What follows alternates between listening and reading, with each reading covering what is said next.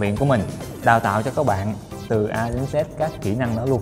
Từ cơ bản đến chưa biết gì đến khi mà các bạn ra làm nghề luôn.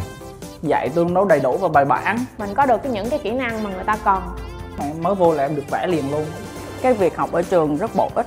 Ở đây đặc biệt là không có thi đầu vào. Có nhiều bạn chưa giờ vẽ nhưng mà vẫn vẽ được các bạn. Trao dồi về kiến thức từ cơ bản cho mình nè đến chuyên sâu vào công việc luôn và nó cũng là thứ để em chuẩn bị để sau này kiểu nâng cấp kiến thức đồ dễ dàng hơn. Thì hiện tại em đang đi làm thì em vẫn áp dụng được rất là nhiều thứ.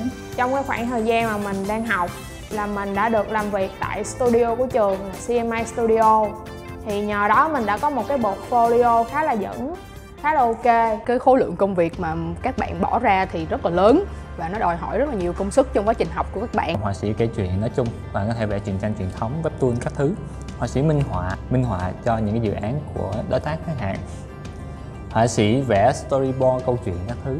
Cứ tự tin mà show show up ra với nhà tuyển dụng thì nhiều khi á, bạn không đáp ứng được cái vị trí này thì bạn cũng sẽ đáp ứng được cái vị trí khác.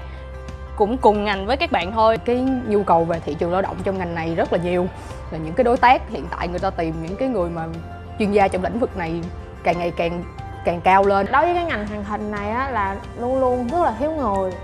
Đó cho nên là bạn đi đâu miễn bạn có khả năng là chắc chắn bạn sẽ có cái chỗ để bạn làm. Cái sự mà cố gắng của các bạn là xứng đáng cho nên hãy cố lên. Đừng có bao giờ mà tự ti giấu đi hết tại vì tự ti giấu đi thì công việc sẽ không đến với bạn đâu. Mình càng trao dồi thêm về mặt kiến thức và các kỹ năng đó để phù hợp với công việc hiện tại hơn và sau này phải phát triển bản thân mình hơn nữa.